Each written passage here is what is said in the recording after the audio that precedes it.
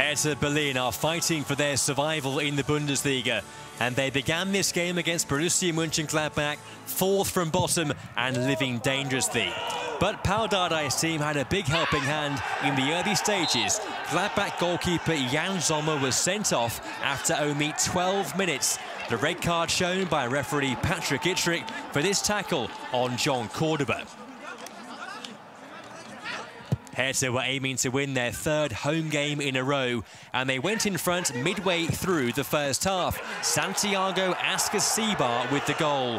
His first in the Bundesliga, his first for Hertha, and it was a priceless moment for them.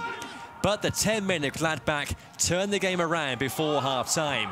First of all, they equalised thanks to Alassane Pléa, played in superbly by Marcus Thuram, and the French forward scored his fourth goal in the Bundesliga this season.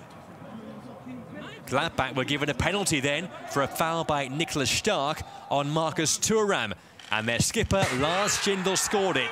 So Gladbach a man down, but a goal up by half-time.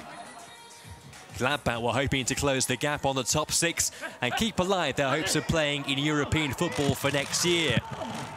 Hertha made a triple half-time change and they got back level at 2-2 not long after the break.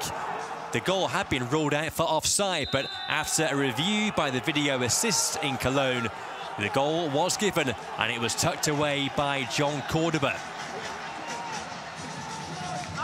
The question now was could Hertha turn one point into all three? And Matteo Guendouzi went close from range, but denied by a fine save by Gladbach's sub-goalkeeper Tobias Sippel. So it ended 2-2 and with one point apiece, but maybe two points slipping away for Hertha.